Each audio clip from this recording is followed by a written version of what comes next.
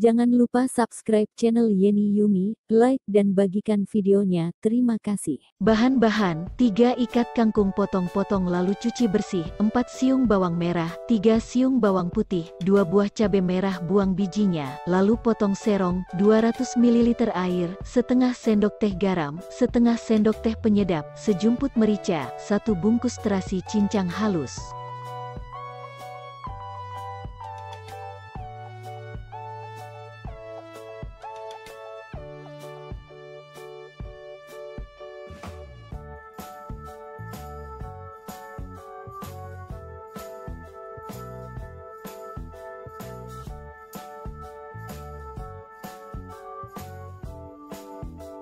Potong tipis bawang merah dan bawang putih.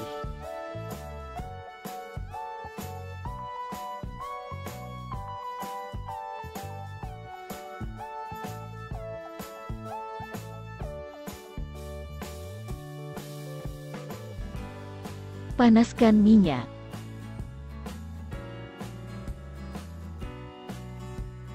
Tumis bawang merah dan bawang putih.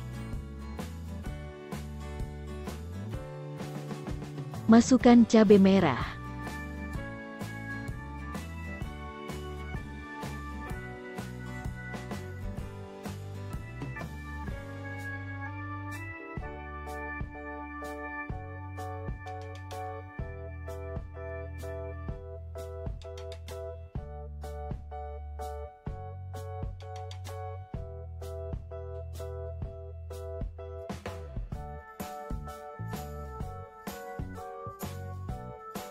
Masukkan penyedap. Masukkan garam. Masukkan lada bubuk. Masukkan terasi.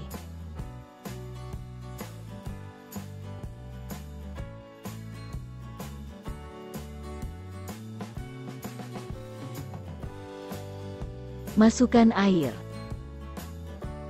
Tunggu sampai mendidih.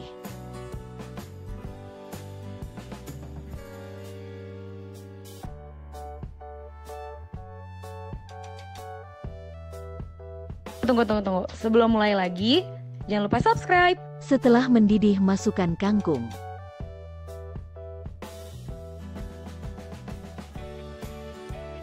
Masak dengan api besar supaya hasilnya empuk dan tetap hijau. Tutup, masak sampai uap keluar dan tercium aroma kangkungnya.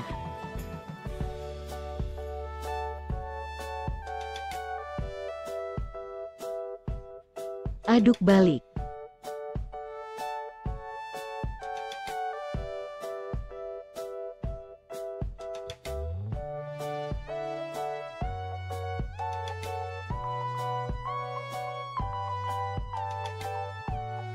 Tutup lagi, dan tunggu sampai uap keluar dan tercium aroma kangkungnya. Sudah matang siap disajikan.